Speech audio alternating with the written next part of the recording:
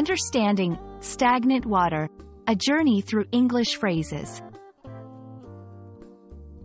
Hello everyone. Today, we're diving into a fascinating English phrase, stagnant water. This term not only has a literal meaning but also carries metaphorical significance.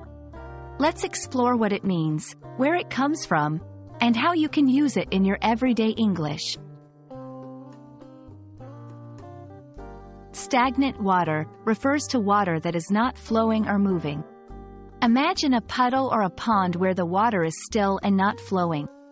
This stillness can lead to the growth of bacteria and mosquitoes. It's often associated with a lack of freshness and unpleasant odors. In a metaphorical sense, stagnant water is used to describe situations, ideas, or projects that are not progressing or developing. For example, if a project at work isn't moving forward, you might say, Our project feels like stagnant water. It implies a need for change or movement to avoid negative outcomes. To help you understand better, let's look at some examples. 1. Literal, the stagnant water in the pond attracted mosquitoes.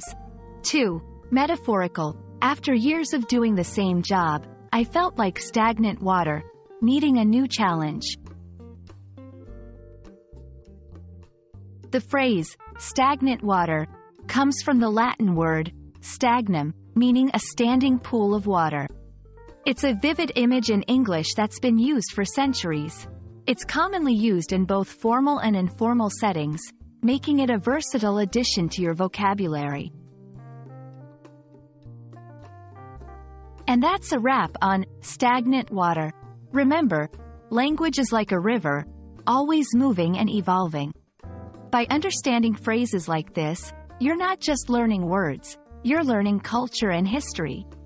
Hope you found this enlightening and can't wait to see you using stagnant water in your conversations.